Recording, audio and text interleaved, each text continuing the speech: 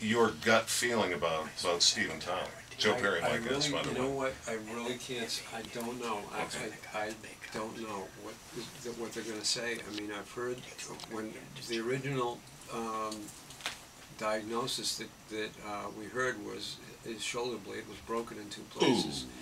And, um, and when I saw him walk by, uh, he, he was bleeding pretty bad. Um, but apparently there was, there's no, I mean, he didn't do anything internally that, that they could find, I mean, no concussion, I mean, he hit his head pretty bad, he hit his back, but, uh, nothing internal, so it's basically, um, he was, he's like in a, was in a bad bar fight, you know, and somebody had a baseball bat.